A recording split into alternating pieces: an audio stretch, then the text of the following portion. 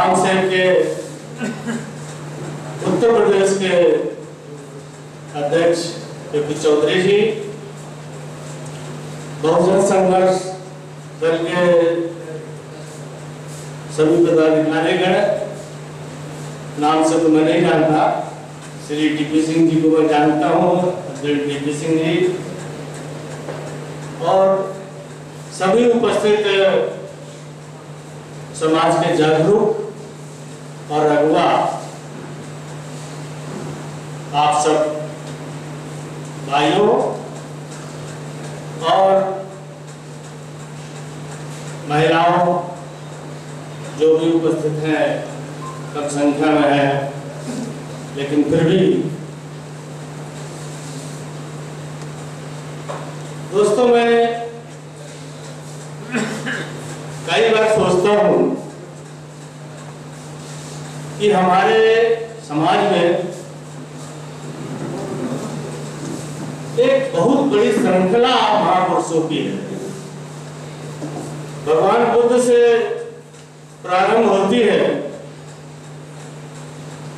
और बाबा साहब और बाबा साहब के बाद मानवर काशीराम जी, इसके पहले मध्यकाल में अनेक संत जो हमारे देश में हमारे समाज से पैदा हुए और हमारे समाज को और पूरे देश को जिन्होंने मार्गदर्शन दिया। परंतु फिर भी हम हज़ारों वर्ष गुलाम है। एक सोचने का विषय है, इस पर विचार किया जाना चाहिए। यहाँ हम लोग जो मौजूद हैं, वो समाज के वो लोग हैं जो गाँव से या शहर से पढ़ लिख करके अधिकारी, कर्मचारी बने और उन्हीं का संगठन है। तो ये सोचनीय विषय है कि हमारे समाज का जो आदमी मजदूर है, जिसके पास खेती नहीं है बहुत बड़ी संख्या है उसकी। कोई छोटी खेती वाले किसान है और छोटा मोटा कोई व्यवसाय अगर करने की हिम्मत हुई, ऐसे लोग हैं जिनकी संख्या अगर हम अपनी आबादी को 30 करोड़ मान लें तो शायद कर्मचारियों की संख्या एक करोड़ मान लिया जाए तो बाकी उनतीस करोड़ वो लोग हैं जो न शिक्षित हैं। और न जिनके पास संघर्ष करने की क्षमता है, क्योंकि उसके पास धन नहीं है, उनके पास अस्त्र नहीं है। इसलिए गाँव लेवल पर और शहर लेवल पर जहाँ कमज़ोर पड़ते हैं, वहाँ पर इनका अत्याचार होता है। और इन महापुरुषों ने जगाया। पंत समाज सो सोता ही रहा जैसा कि बाबा साहब कहते थे, कि चूँकि गांधी जी का समाज जाग रहा है, इसलिए वो सो रहे हैं। और हमारा समाज सो रहा है, इसलिए मुझे रात को जागना पड़ता है। वो चिंता मानवर काशीराम जी को हुई। बाबा साहब के जाने के बाद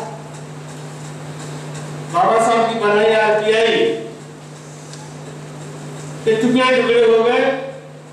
लोग स्वार्थ में बिक गए और अलग अलग कई टुकड़े हो गए। मिशन को भूल गए।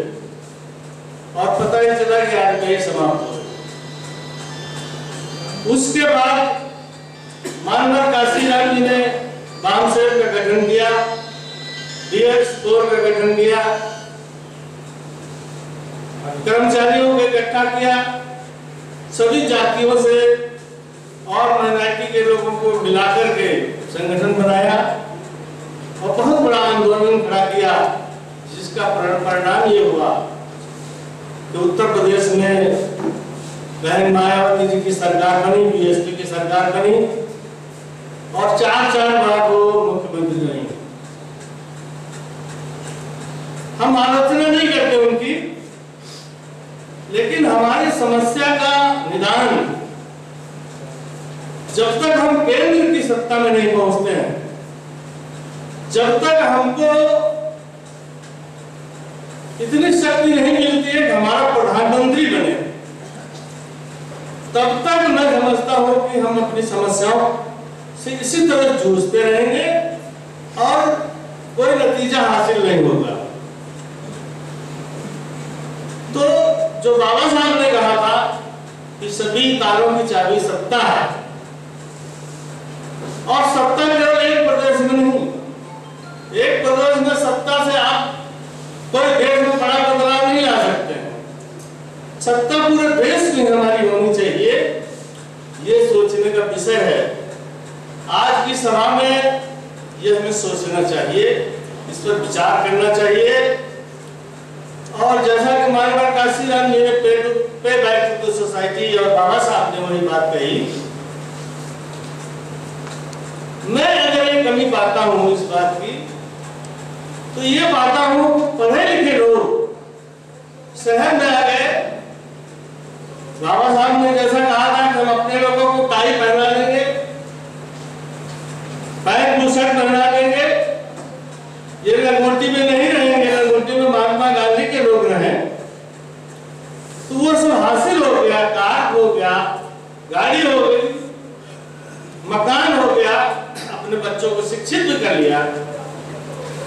लेकिन समाज में जो पिछड़े हुए लोग हैं, उनकी तरफ़ जाकर के गाँव में झाँक करके नहीं देखा पढ़े लिखे लोगों ने। और दूसरी जो है, वो हीन भावना से ग्रस्त आज पढ़े लिखे लोग भी हीन भावना से ग्रस्त है।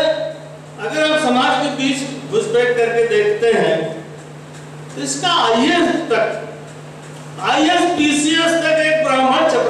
डरता है।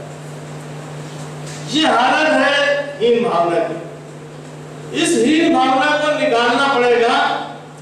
और जो हम विभिन्न जातियों में बटे हुए लोग हैं, उनको इकट्ठा करने पड़ेगा। और जैसा कि हमको सांस्कृतिक प्रमुख की बात दी गई, उसके हिसाब से मैं आपसे कहना चाहूँगा कि अगर वो हिंदू राष्ट्र की बात करके इस देश पर शासन कर सकते हैं। तो हमारा तो ये बौद्ध राष्ट्र है।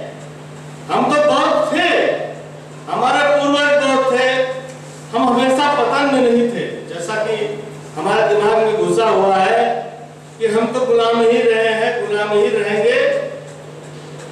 और इस गुलामी से मुक्ति का हम तरीका ढूंढ रहे हैं। अपने संविधान को बचाने का, अपने आरक्षण को बचाने का हम संघर्ष कर रहे हैं। तो उसमें ये ज़रूरी है कि सांस्कृतिक स्तर पर भी हम उनसे संघर्ष करें। ठीक है माइनॉरिटी के लोग हमारे साथ हैं। सिख भी है, ईसाई भी है मोहनदास भी है।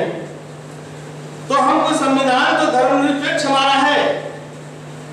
संविधान किसी धर्म विशेष को इजाज़त नहीं देता कि धर्म किसी धर्म विशेष को बहुत बड़ा मान्यता दी जाए, लेकिन आरएसएस और भाजपा के लोग बराबर अपने डंड लगाए हुए कि ये देश हिंदू राष्ट्र है हिंदू राष्ट्र है।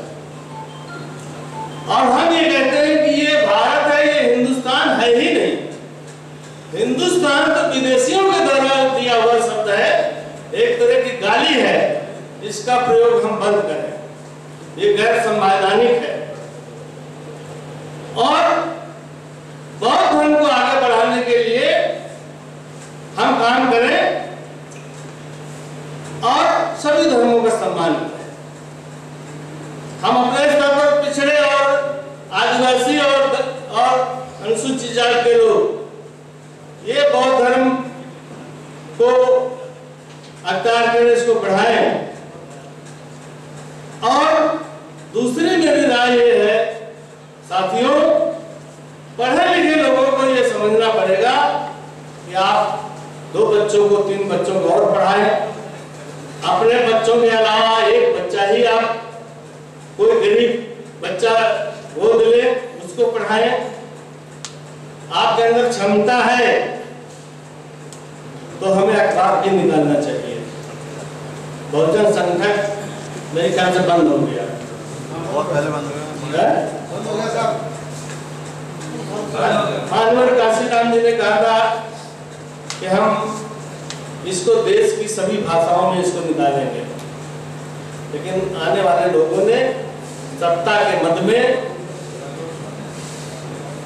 उस कार्य को भी नहीं चलाया, नहीं किया। हमें वो चलाना चाहिए। हमें उसे करना चाहिए। क्योंकि मीडिया जो है, मीडिया के दम पर सरकार बनती है, आजकल बिगड़ती है। और आम हमारे देश का परिपक्व नहीं हुआ। तो हम केवल केवल गाँव से में जो जातियाँ हैं उनकी बात नहीं कर रहे हैं। अब इस देश का ब्राह्मण ठाकुर बनिए जो जो शोषक है ये भी मच्योर नहीं हुआ है राजनीतिक उस एक, एक मतलब एक वैचारिक दृष्टि से मज़बूत नहीं हुआ। लोकतंत्र के ये स्वीकार ही नहीं करना चाहता। है ये गाँव में अगर ठाकुर है के बल पर जो है हमारे लोगों से गंदे काम करवाना चाहता है। अपने अपने अपने खेत पे काम करवाना चाहता है, उसको मजदूरी भी नहीं देना चाहता। ये सारी समस्याएँ हमारे हमारे सामने है, नौकरी के अलावा, आरक्षण के अलावा। इन सब चीज़ों पर हमें ध्यान देना चाहिए और आज हमको संकल्प लेना चाहिए कि हम इन सभी चीज़ों को लेकर के, एक साल लेकर के चलेंगे। मैं इतनी ही बात के साथ अपनी बात को समाप्त करता हूँ। नमो बुद्धाय, जय हिंद जय भारत